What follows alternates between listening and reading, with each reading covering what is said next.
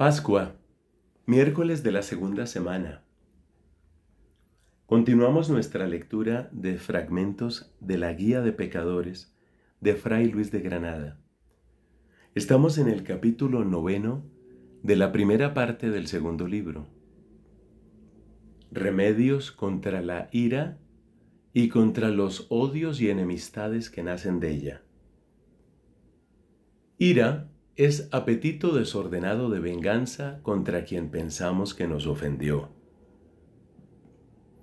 Contra esta pestilencia nos provee de medicina el apóstol diciendo, Toda amargura de corazón, toda ira e indignación y clamor y blasfemia, sea quitada de vosotros con toda malicia, y sed entre vosotros benignos y misericordiosos, perdonándoos unos a otros como Dios nos perdonó por Cristo.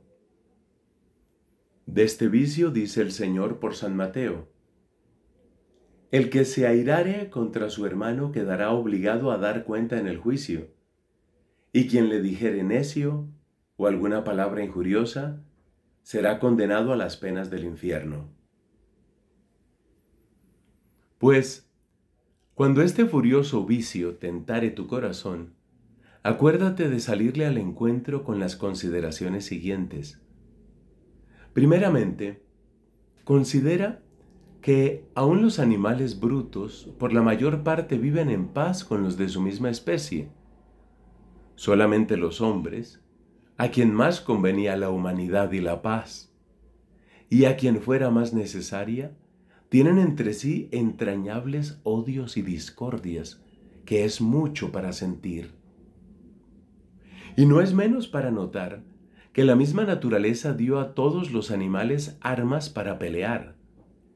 Al caballo, pies, al toro, cuernos, al jabalín, dientes, a las abejas, aguijón, a las aves, picos y uñas, tanto que hasta las pulgas y mosquitos dio habilidad para morder y sacar sangre.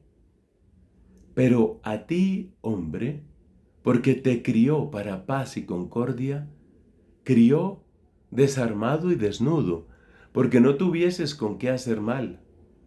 Mira pues, cuán contra tu naturaleza es vengarte de otro y hacer mal a quien mal te hace, mayormente con armas buscadas fuera de ti, las cuales naturaleza te negó.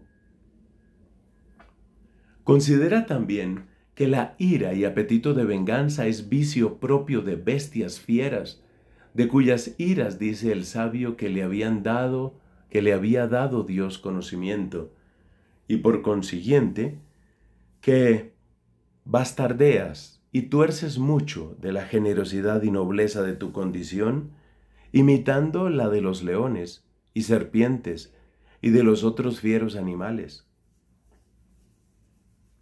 de un león escribe Eliano que habiendo recibido una lanzada en cierta montería, a cabo de un año, pasando el que le hirió por aquel mismo lugar en compañía del rey Juba y de otra mucha gente que le seguía, el león le reconoció y rompiendo por toda la gente sin poder ser resistido, no paró hasta llegar al que le había herido y hacerlo pedazos.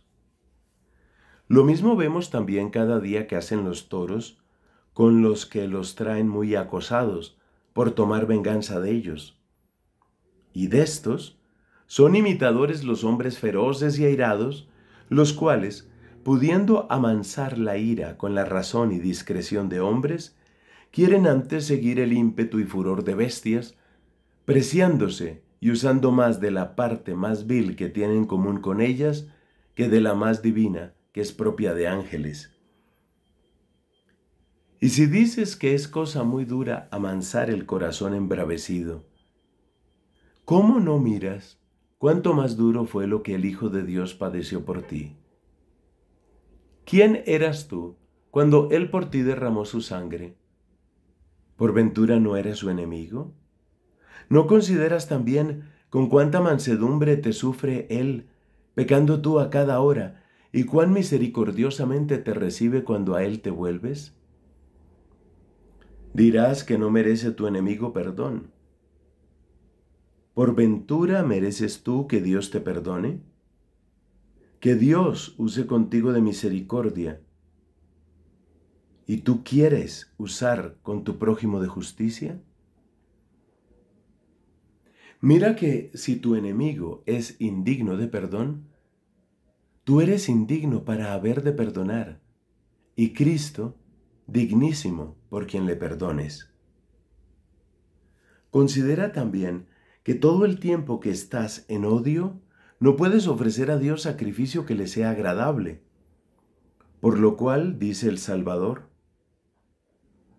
si ofreces tu ofrenda en el altar, y allí se te acordare que tu prójimo está ofendido de ti, ve primero y reconcíliate con él, y entonces vuelve a ofrecer tu don donde puedes claramente conocer cuán grande sea la culpa de la discordia entre los hermanos.